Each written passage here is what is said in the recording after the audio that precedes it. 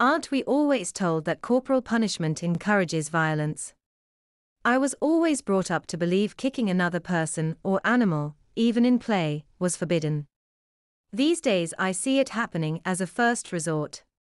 I despair at the lack of care or concern about the injuries it can cause.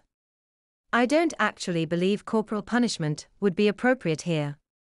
Unlike some contributors, I believe it was best suited to minor or moderate misconduct, not for serious offences, and as such I don't think it needed to be particularly severe. I'm afraid I think this behavior calls for a loss of liberty and privileges on the lines of the approved school, but better managed than the bad institutions of the past.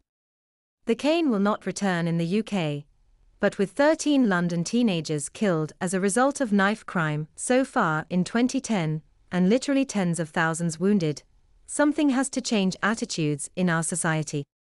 It may not be called child abuse, but isn't it just as bad?